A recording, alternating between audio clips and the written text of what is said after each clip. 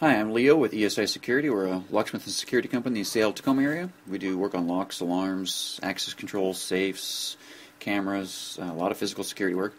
But I often talk to people and they have an interest in how locks work and uh, a little bit of fascination with them. I figured I'd run through a real quick video here on how a safe lock works. Your general safe lock's been around for decades.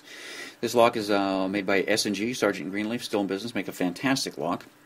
But basically you have your dial on the back You've got this one has three interlocking wheels that rotate with the dial.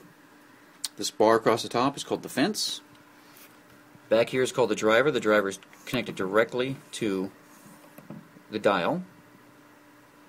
The basic idea is, is as you rotate the dial, your wheels have little notches in them here called gates. And the idea is you want to line the gates up with the fence. So as you're rotating this, you line up your first gate with the fence rotated back, wheels are interconnected.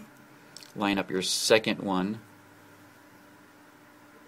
with the fence. And these all coordinate to the numbers on the front. So this number here is about 50.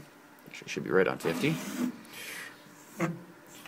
Rotate your last one. So this is basically what's happening is as you're dialing in combination and the gates are lining up with the fence. Once you get your last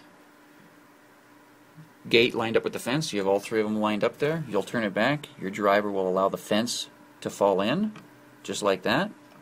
Once it falls in, it retracts the bolt lock.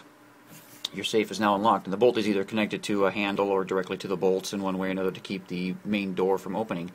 And that is basically how a safe lock works.